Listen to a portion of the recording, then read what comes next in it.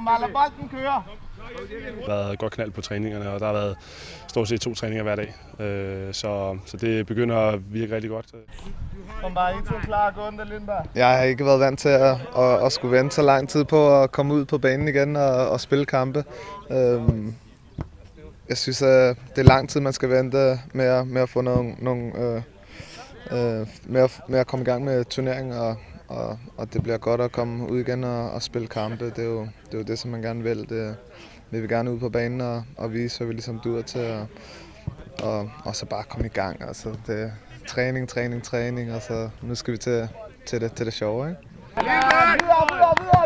Vi lige har en uge, øh, når vi kommer hjem, for at komme helt op og lige få det sidste på plads, og så er vi klar øh, i starten af marts. Det handler om at, og ligesom at finde den rigtige timing og, og, og peak på det rigtige tidspunkt. Og, og, og det er så det, som vi, vi bruger træningen til. Og, og så ligesom følelsesmæssigt, mentalt også.